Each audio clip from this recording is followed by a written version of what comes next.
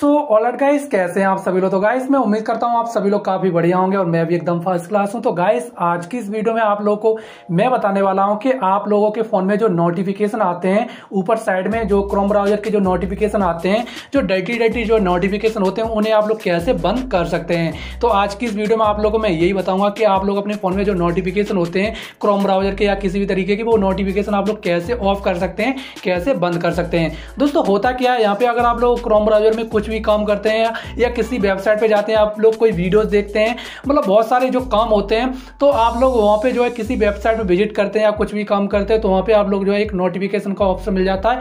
वहाँ पे आप लोग को परमिशन मांग लेता है, वहाँ पे आप लोग अलाउ कर देते हैं। इसके बाद क्या होता है, वहाँ पे जो भी उस वेबसाइट पे जो भी चीज़ अपलोड होती है, और उसका नोटिफिकेशन आपको बार बार आता रहता है, ठीक है? और क्या होता है, बहुत सारे एड चलते हैं, आप लोग किसी वेबसाइट पे जाते हैं तो बहुत सारे डर्टी डर्टी जो एड्स होते हैं, वो चलते रहते प्ले होते रहते तो क्या होता है जो गलती से आपको जो है क्लिक हो जाता है वहाँ पे, ठीक है?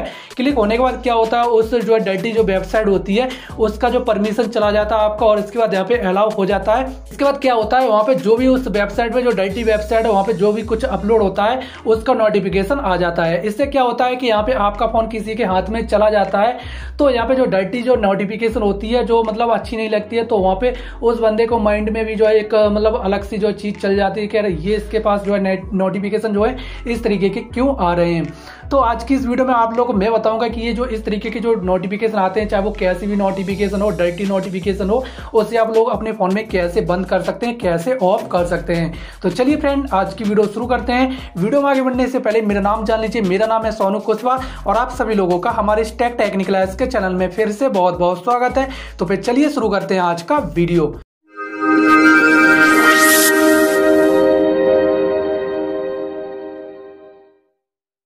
सो गाइस यहाँ पे आप लोगों को अपने फ़ोन के जो नोटिफिकेशन है उनको बंद करना है तो आप लोगों को करना क्या होगा यहाँ पे आप लोगों के जो नोटिफिकेशन होते हैं वो ज़्यादातर जो है क्रोम ब्राउज़र से ही आते हैं तो आप लोगों को क्रोम ब्राउज़र को ओपन करना होगा ओपन करने के बाद यहाँ पे आप लोगों को जो यहाँ पे एक ऑप्शन मिलता है तो यहाँ पे आप लोग को हो सकता है थ्री डॉट मिले तो और यहाँ पे हो सकता है एरो मिले तो यहाँ पे मैं इस पर जो है क्लिक करूँगा क्लिक करने के बाद यहाँ पे आप लोग देख सकते हैं ये सेटिंग वाला ऑप्शन मिल जाता है तो जस्ट यहाँ पे आप लोग क्लिक करेंगे क्लिक करने के बाद यहाँ पे देख सकते हैं आप लोग को जो है नीचे साइड में आना होगा और नीचे साइड में आने के बाद यहाँ पे आप लोग को एक ऑप्शन मिलेगा, देख सकते हैं यहाँ पे साइट सेटिंग्स इस वाली जगह पे आप लोगों को क्लिक करना होगा। क्लिक करने के बाद देख सकते हैं इसका इंटरफेस इस तरीके से मिलेगा आप लोगों को। और इसके बाद यहाँ पे आप लोग को एक ऑप्शन मिलता है नोटिफिकेशन यहाँ पे इस नोटिफिकेशन के ऑप्शन पे क्लिक करेंगे। अब यहाँ पे देख सकते हैं ये जो है ऑप्शन आ रहा है यहाँ पे नोटिफिकेशन ये आप लोगों का ऑन रहेगा। अगर आप लोग इसको जो है इस तरीके से ऑफ़ कर देंगे तो ये जो है सारे के सारे जो वेबसाइट के जो नोटिफिकेशन है वो यहाँ पे बंद हो जाएँगे, ठीक है?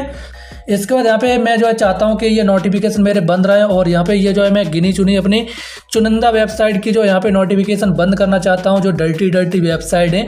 तो यहाँ पे मान लीजिए एक वेबसाइट ये वाली है, यहाँ पे देख सकते हैं, यहाँ पे मैं चाहता हूँ ये जो वेबसाइट है इसके नोटिफिकेशन बंद हो जाए। ये देख सकते हैं N L Patel dot com ये वेबसाइट है। तो मैं चाहता हूँ इस वेबसाइट का मेरे पास कोई नोटिफिकेशन ना आए और बाकी की जो वेबसाइट का नोटिफिकेशन मुझे मिलता रहे। तो मैं क्या करूँगा? यहाँ पर मैं इसके जो ऊपर क्लिक करूँगा। क्लिक करने के बाद देख सकते हैं आप लोगों को यहाँ पर एक ऑप्शन मिलता है साउंड साउंड को आप लोग जो है सिलेक्ट करेंगे तो क्या होगा? इसका जो साउंड है वो यहाँ से आप लोग जो है अलाउ करेंगे ब्लॉक करेंगे तो यहाँ से आप लोग जो है अलाउ और ब्लॉक यहाँ से कर सकते हैं, ठीक है? और इसके बाद यहाँ पे आप लोग जो है क्लियर रीसेट करेंगे तो इससे क्या होगा, ये सारी की सारी जो है यहाँ से हट जाएगी और इसके बाद इस वेबसाइट की कोई भी नोटिफिकेशन आप लोग को नहीं मिलेगी, ठीक है?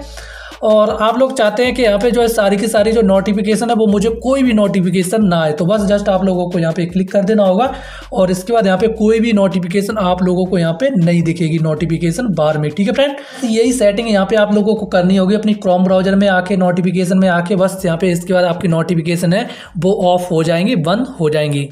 सो so गाइस उम्मीद करता हूँ यहाँ पे आप लोग जो है जान चुके होंगे और सीख चुके होंगे कि आप लोग अपने फ़ोन में जो भी डर्टी नोटिफिकेशन आते हैं या किसी भी तरीके के जो नोटिफिकेशन आते हैं, उसे आप लोग कैसे ऑफ़ कर सकते हैं? अगर आप लोग को नोटिफिकेशन को ऑफ़ करने में कोई भी दिक्कत या परेशानी आ रही है तो आप लोग मुझे कॉमेंट करके पूछ लेना, मैं आप लोगों को वहाँ पर रिप्लाई दे दूँगा। और हाँ गाइस अगर आप लोग मुझसे बात करना चाहते हैं तो इंस्टाग्राम की लिंक है वीडियो के डिस्क्रिप्शन में तो जाइए वहाँ से मुझे फॉलो कीजिए और आप लोग मुझसे जो भी बात करना चाहते हैं, वहाँ पर कर लीजिए। सो गाइस वीडियो पसंद आई हो तो वीडियो ज़रूर से एक लाइक करना शेयर करना और चैनल पर ना आया तो चैनल को ज़रूर से सब्सक्राइब करके बगल में एक बेल आइकन आ जाएगा। उसे ज़रूर से प्रयास कर लेना, जो कि मैं जब भी इस तरह की वीडियो बनाऊँ तो उसका नोटिफिकेशन तुरंत से आप लोग को मिल जाए। तो गाइस अभी फ़िलहाल के लिए बस इतना ही। मैं मिलता हूँ आपको नेक्स्ट वीडियो में। तब तक अपना ख्याल रखना। Take care bye